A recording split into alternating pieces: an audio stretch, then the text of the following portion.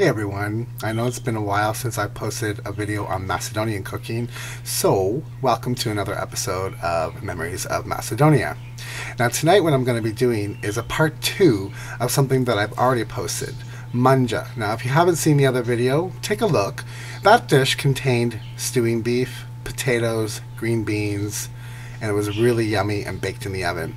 This version of manja, and manja really is anything that's a meat and veg, okay? That's baked in an oven. Um, this version of what we also call manja is with pork, um, tomatoes, cabbage, um, some just a little bit of olive oil, water, spices. It's really easy, guys. Um, I hope you try this one, and I'll be right back to show you what we're going to need to make this version of manja. Be right back. Alright, Munja Mach 2. what I have here is a pork roast. This is a sirloin boneless pork roast. Now you guys can use any cut of pork that you like um, because this is going to be cooked in a slow oven until the meat is literally just falling apart and so tender. Like I said in the other video, traditionally this would have been made with, you know, cuts of meat that weren't so great, um, cuts of meat that were leftovers and maybe tougher. So this is going to be stewed down. Now, if you have lots of fat on your pork, go ahead and trim it off, or you can actually roast it fat side up until the uh, the fat gets really crispy. Then what you do is um, take it off. Once it's crispy, cut it up for cracklings, and then um, put the lid on to continue cooking. So pork is the number one in this manja. Number two is the cabbage. Now this is a huge head of cabbage. I'm only making enough to feed me for the next couple of days, so I'll probably use half of this. Um, with cabbage, another cabbage product is sauerkraut. Now this happens to be the wine sauerkraut, and please use that. Don't use cheap sauerkraut. Try to find a wine sauerkraut. For those of you who are squeamish about sauerkraut, once it's cooked, it really loses a lot of its pungency. It just leaves a really great flavor to this dish. And a lot of Balkan um, Balkan cooking, um, Eastern European cooking uses fermented or sour cabbage at some point in one of their dishes. You will also need tomatoes, and what I have here is a can of stewing tomatoes, which is completely fine. If you are like me and you don't want to throw away things, what I do is I freeze um, I freeze my tomatoes when they get really, really ripe, and I know I'm not going to use them, and I don't want them to go moldy on me. This is great for this kind of thing because if you just let these thaw out just a little bit, the skins will just pop right off of them, and then you can throw them in frozen or semi-frozen and let them do their thing. So freeze your tomatoes, guys. Don't let them go moldy on you and throw them away. They're good for things like this. Our spices today are pretty simple. Garlic, black pepper over here, and of course sea salt. I have Mediterranean sea salt here. You will need salt in this dish because you know you're you're you're needing to salt the pork and the and the cabbage and um, now if you use um, the tomatoes with no salt in them, even better because then you're controlling the salt even more. Lastly but not least, a staple in Macedonian cooking is paprika, and for this dish, again, you're going to use a lot of this. So I don't give measurements usually. It's usually by, by flavor and, and by feel. So you add as much as paprika as you see that you need, that you deem fit. But go heavy on the paprika because that's kind of what a flavor enhancer for this dish. The other thing you're going to need, which I did not bring here, um, lack of space, is water to cover, and you're going to need olive oil or um, a cooking oil like Mazola or a blend, a blended oil. Alright guys, so these are all the ingredients we're going to need to make manja, the second manja, and I'll be right back and show you how we put all this together in the roasting pan. Be right back. Hey guys, I'm just back quickly to show you what I've done with my cabbage. Um, I've cut it in half and I've cored it, which means I've just taken out that rough core in the middle. Um, it's pretty fibrous and you don't want it in there. And then just going to give it a rough shred. I mean, don't make the pieces too big, but you don't have to be really fancy. I'm trying to cut this on my desk, so bear with me. Maybe if I stood up, that's better. Okay, so you just want to do a rough shred because then these pieces will, as you can see, are shredded. And then you can just give it a quick cut across like that to make the pieces more manageable. And these are going to melt down a bit when they cook as well.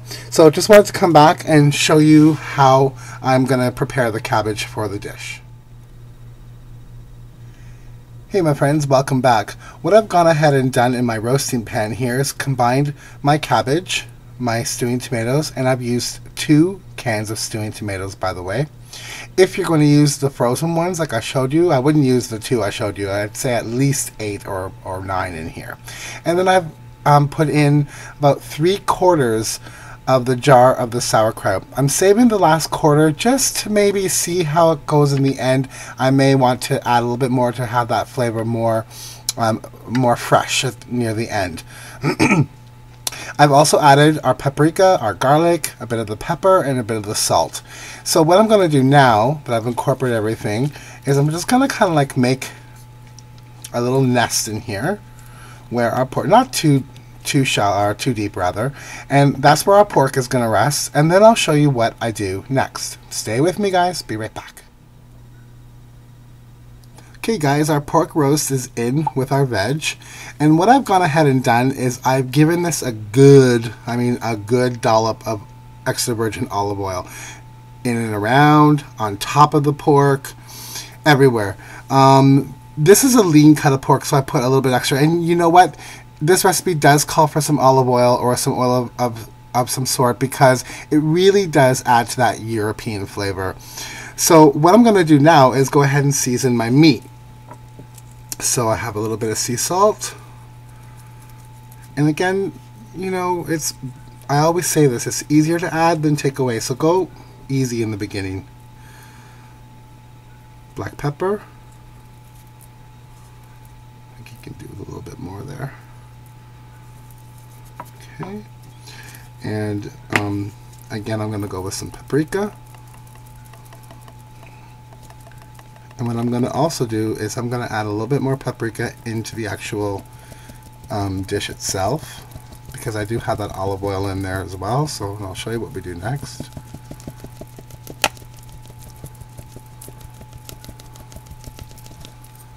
Sorry about the angle, guys.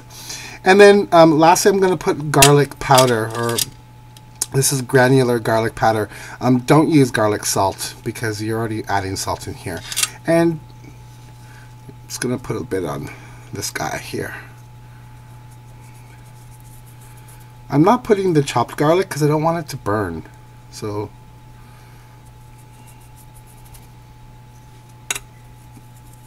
there. Okay. We're seasoned our meat and we further seasoned the veg. Now what I'm going to do is gently and carefully add some water until you want pretty much three quarters of your roast to be covered. Just the top should be peeking out. There you go and that's it.